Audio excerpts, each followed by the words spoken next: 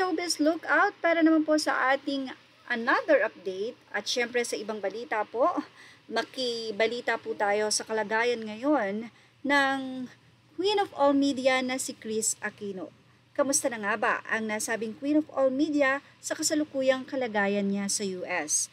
Dinalaw nga ng isang malaging, mag, magaling na singer na si Angeline Quinto si Chris Aquino sa US. At doon ay kinantahan niya ito ng dating team song na pinapalabas na show ni Chris ang Chris TV. Siyempre, bilib na bilib pa rin si Chris Aquino kay Angeline dahil hindi nagmamaliw ang boses nito. Samantala, sa caption, matapos ng ibahagi ni Chris Aquino ang nasabing video ng pagdalaw sa kanya ni Angeline, ay mayroon naman ito na caption ng pasasalamat kay Angeline. Pero bukod pa dyan, nag-update din si Chris Aquino sa kanyang kasalukuyang kalusugan, kung meron ba itong improvement, at sa kanyang love life. Narito po at ating ibahagi sa inyo. Tungkot na belita kaya sa love life at sa kanyang health?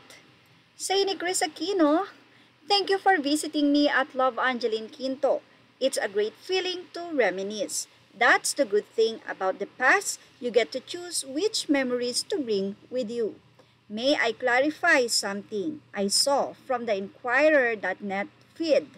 It was dated November 9. Unfortunately, by the time that post came out, it was no longer true.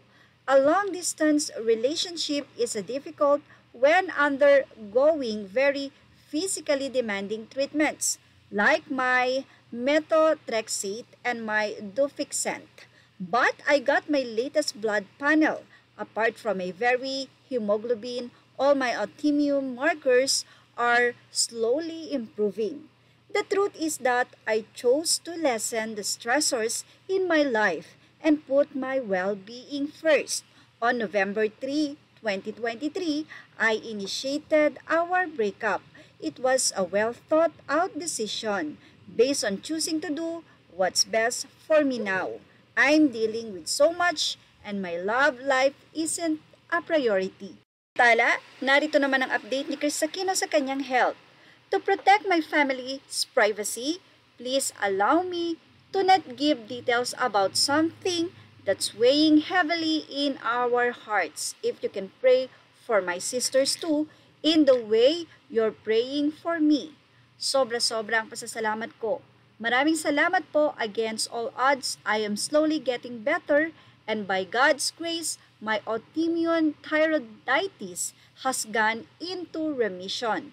And also because my doctors caught it early enough, my fifth autoimmune, the mixed connective tissue disease, which was strongly pointing towards RA, rheumatoid arthritis or SLE lupus, in my latest panel, seem to not be a present threat.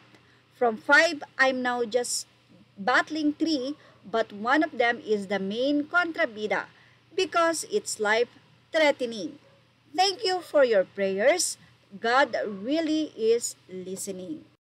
Well, ayon naman kay Chris Aquino, hindi muna niya priority ang love life at ito ay both decision nila ni Vice Gov Mark Libiste pero alam naman natin na on and off ang relationship nila. Siguro medyo selos or tampo lang itong si Chris dahil kailangan bumalik ni Vice Governor Mark Libiste sa Pinas because isa siyang uh, tagapaglingkod ng kanilang bayan. But anyway, good news sa magandang health improvement ni Chris Aquino. And yan po ang ating showbiz look out update. Siyempre, ipinagpipray natin ang kapatid ni Miss Chris na mukhang dumaraan din ngayon sa matinding pagsubok. Thank you for watching. Images are all credit to the rightful owners. Please like, share, and subscribe.